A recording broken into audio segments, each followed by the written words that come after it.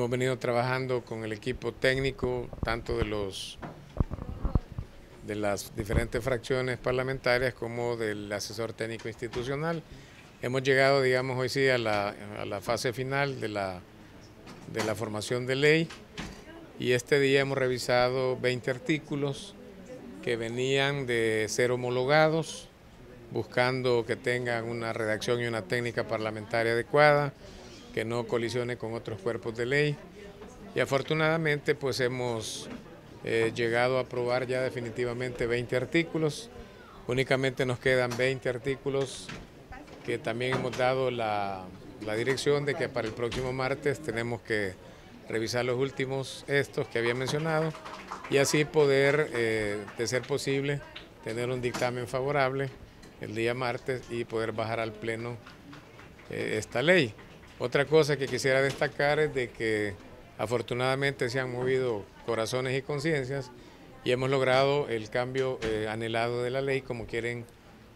las organizaciones sociales que han sido motor importante de, no solamente de moverse en el sentido de la ley, sino que han tenido una incidencia política importante, han hablado con los diputados, con las fracciones. Así es que la ley se llamará Ley de Promoción y Protección del Bienestar Animal,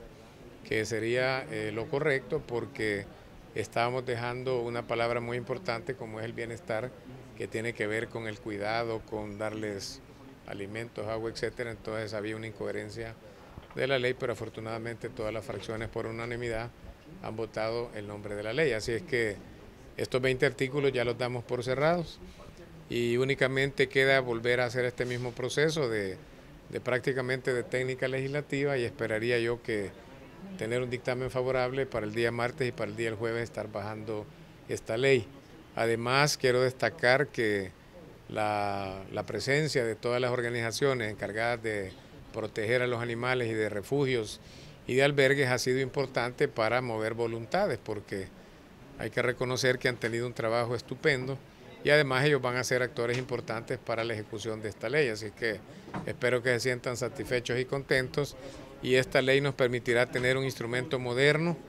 Eh, hemos leído en diferentes artículos que proteger a los animales no solamente es cuidar a los animales, sino que esto es un elemento de desarrollo sostenible y además de protección de la vida como se está pidiendo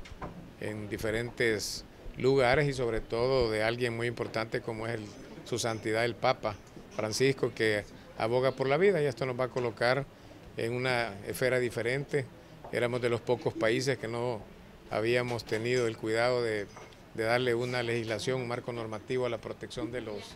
animales, así es que vamos satisfechos del trabajo de esta tarde.